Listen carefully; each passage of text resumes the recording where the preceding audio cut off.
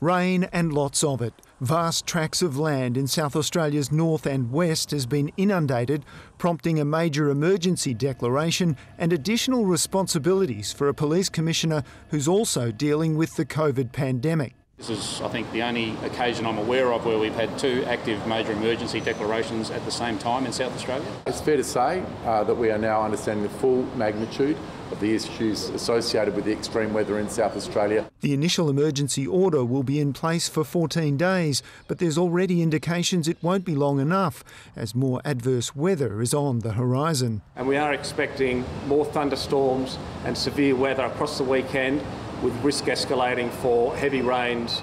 The far north and the Eyre Peninsula have been badly affected in the past few days, with roads and rail falling apart amid the deluge that's also damaged properties.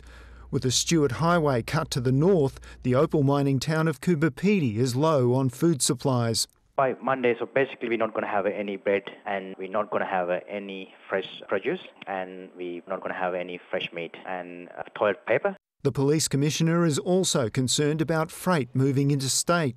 We also have a significant issue with essentially uh, all major arterial routes, both by rail and by road, being disrupted to Western Australia and the Northern Territory. The rail network has at least 14 washaways causing damage, and the Australian Rail Track Corporation is forecasting it'll take 18 days to repair. However, with the severe weather we're over the next four or five days, that could well be extended.